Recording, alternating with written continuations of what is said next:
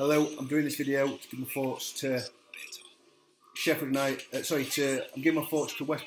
Uh, hello, I'm doing this video to give my thoughts to Birmingham Sheffield United. I thought it was a professional performance. Thought it was a good professional performance. Thought first half, not a lot in it. Created some good chances in the uh, yeah, created some good chances uh, in the first half. Uh, lucky not to take go in. Uh, yeah, lucky not. To, yeah, was lucky not. To, yeah, was lucky not to be uh, leading uh, at half time.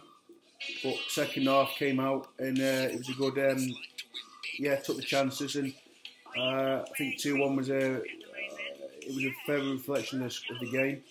Um, they did score a good goal West uh, Birmingham to get back into it, but I thought it was a very comfortable performance and it was uh, it was a deserved it was a deserved three points to sign off the se- to sign off the season.